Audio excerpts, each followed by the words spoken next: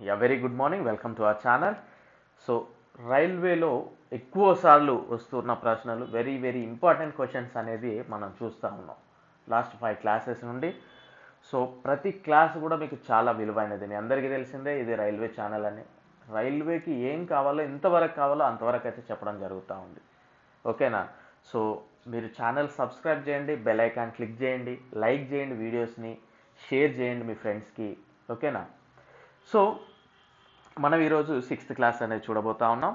So ఇక్కడ సంబంధించిన PDF screen shot ఏదైతుందో దానికి సంబంధించిన వీడియో లింక్ డిస్క్రిప్షన్లో ఉంటుంది.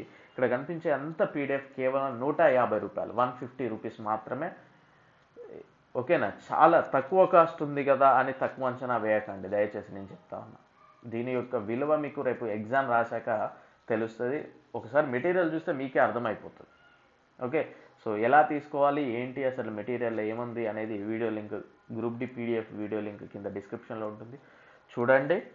సో ఇక మనం క్లాస్లోకి వద్దాం. సో ఆల్రెడీ ఫైవ్ క్లాసెస్లో చాలా క్వశ్చన్స్ అనేది మనం చూడడం జరిగింది ఈరోజు. Thirty sixth question. భారతదేశంలో బ్రిటిష్ వారు ఆంగ్ల మాధ్యమాన్ని ఎప్పుడు ప్రవేశపెట్టారు? పద్దెనిమిది వందల ముప్పై ఐదవ సంవత్సరంలో బ్రిటిష్ వారు ఆంగ్ల మాధ్యమాన్ని ప్రవేశపెట్టడం జరిగింది. స్వతంత్ర పార్టీని ఎవరు స్థాపించారు? సి రాజగోపాలాచారి గారు. C Rajagopalachari. So C Rajagopalachari అనగానే మనకి గుర్తుండాలి. మొట్టమొదటి భారతరత్న అవార్డు గ్రహీతలు అయిన కూడా. C Rajagopalachari Sarvepalli Radhakrishna sir C V Raman వీళ్ళ ముగ్గురికి కూడా ఫస్ట్ మన భారతరత్న అవార్డు రావడం జరిగింది. వీళ్ళు ముగ్గురు కూడా తమిళనాడు. ఏ భారత జాతీయ కాంగ్రెస్ సమావేశంలో పూర్ణ స్వరాజ్ తీర్మానాన్ని ప్రవేశపెట్టడం జరిగింది? లాహోర్ కాంగ్రెస్ సమావేశంలో పంతొమ్మిది వందల ఇరవై తొమ్మిదిలో పూర్ణ స్వరాజ్ తీర్మానాన్ని ప్రవేశపెట్టారు. ఎకా సిలికాన్కు మరొక పేరేంటి? ఎకా సిలికాన్కు మరొక పేరు జర్మేనియం. దీని యొక్క అటామిక్ నెంబర్ వచ్చేసి ముప్పై రెండు. చర్మం ఏ కణజాలంతో రూపొందించబడను? చర్మం ఎపిడెర్మల్ కణజాలం. ఇక్కడ మీరు కన్ఫ్యూజ్ అవ్వాల్సిన అవసరం లేదండి. చెప్పి చర్మం అంటే ఎపిడెర్మల్. డెర్మటాలజిస్ట్ ఇట్లా అంటూ ఉంటారు కదా. సో ఎపిడెర్మల్ కణజాలం. ఆధునిక ఆవర్తన పట్టికలో ఎడమ వైపు ఉంచిన ఏకైక అలోహం ఏంటి? హైడ్రోజన్ అండి. ఏకైక అలోహం హైడ్రోజన్. ఆరిజిన్ ఆఫ్ స్పేసిస్ రచయిత ఎవరు? Charles Darwin. చార్లెస్ డార్విన్ అండి. బెంగాల్ విభజన జరిగిన సంవత్సరం పంతొమ్మిది వందల ఐదవ సంవత్సరంలో బెంగాల్ విభజన అనేది జరిగింది. చాపర్ మేళా ఎక్కడ నిర్వహిస్తారు? చాపర్ మేళా పంజాబ్లో నిర్వహించడం జరుగుతుంది.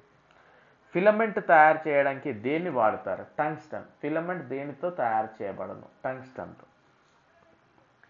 ప్రాథమిక విధులను ఏ రాజ్యాంగం నుండి గ్రహించారు? ఏ రాజ్యాంగం నుండి? రష్యా రాజ్యాంగం నుండి. మనం ఆల్రెడీ చూసాం ఆదేశిక సూత్రాలను ఏ రాజ్యాంగం నుండి గ్రహించారు? ఐరిష్ రాజ్యాంగం అంటే ఐర్లాండ్ రాజ్యాంగం నుండి. ఓకేనా?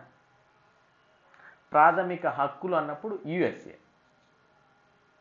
అయోధ్య ఏ నది ఒడ్డున కలదు. వెరీ వెరీ ఇంపార్టెంట్ క్వశ్చన్ ఈసారి ఇది కరెంట్ అఫైర్స్ త్రూగా అడిగే అవకాశం ఉంది. ఎందుకంటే అక్కడ అయోధ్యలో రామ మందిరం నిర్మిస్తూ ఉన్నారు కనుక రీసెంట్ యాక్టివిటీ కనుక అది అయోధ్య ఇటీవల నిర్మించబడుతున్న రామ మందిరం అయోధ్యలో ఉంది. ఆ అయోధ్య ఏ నది ఒడ్డున ఉంది?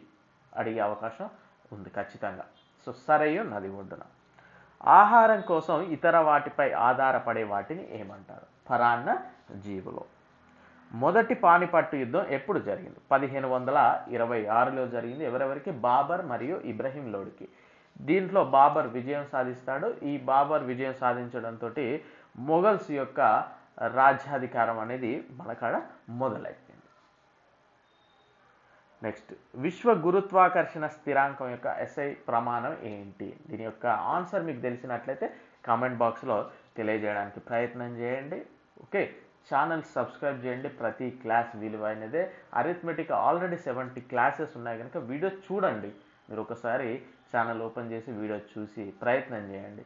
మనం సై ఆల్మోస్ట్ సెవెంటీ వీడియోస్ చేసాం అదేవిధంగా హిస్టరీ చేసాం దాంతోపాటు పాలిటీ చేసాం కొన్ని జీకే చేసాం కరెంట్ అఫైర్స్ చేసాం కొన్ని ప్రీవియస్ బిట్స్ చేసాం ఇవన్నీ చూడడానికి ప్రయత్నం చేయండి.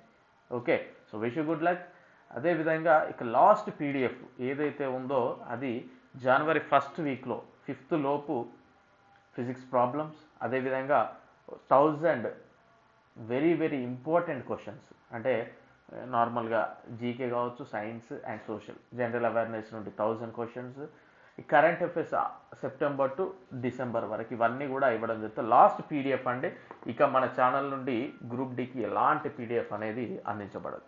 So wish good luck thank you